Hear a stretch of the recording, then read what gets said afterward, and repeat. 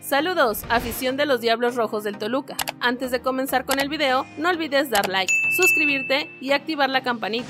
Sin más por el momento, iniciamos.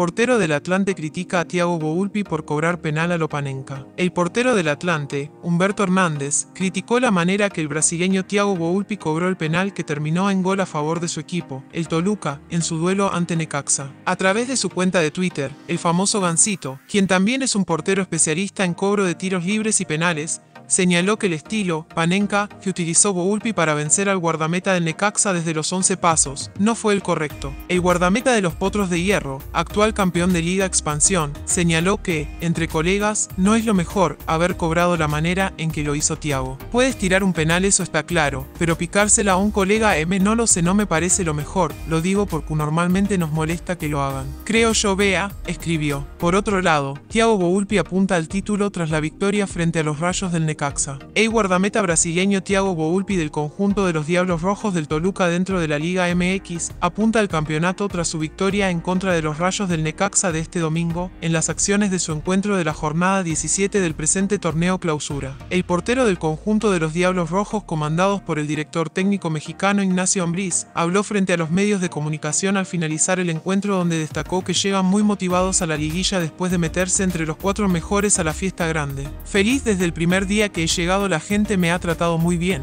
con mucho respeto hacia mi familia. El equipo llega con confianza, alcanzamos el primer objetivo que teníamos, puntualizó el brasileño. Thiago Boulpi destacó que desde su llegada al Deportivo Toluca se ha sentido muy cómodo con el apoyo de sus aficionados, por lo que apunta a poder pelear por el campeonato de esta campaña después de que se le negó en el torneo Apertura 2022 cuando cayeron en la final contra Pachuca. Por otro lado, Ignacio Ambriz tendrá preparación especial de cara a la liguilla del Clausura 2023. Con la idea de concentrar a los jugadores de Toluca y trabajar en otro ambiente, el técnico Ignacio Ambriz reveló que esta semana trabajarán en Avándaro para preparar la liguilla del Clausura 2023 mientras se define su rival. El DT explicó en conferencia de prensa los planes que tiene para los jugadores de los Diablos Rojos, que gracias a la victoria sobre Necaxa terminaron en cuarto sitio de la clasificación general y ganaron su pase directo a la fiesta grande. Nos iremos a Avándaro dos o tres días para tranquilizarnos, unirnos más, convivir entre nosotros, para trazarnos nuevos objetivos y estar tranquilos, esperar quien nos pueda tocar. En Toluca saben que la liguilla será un torneo aparte, muy complicado, en el que deben estar preparados para todo. El equipo está consciente de lo que viene, va a pelear otra vez, está consciente de que quiere luchar por aparecer otra vez en una final y por eso en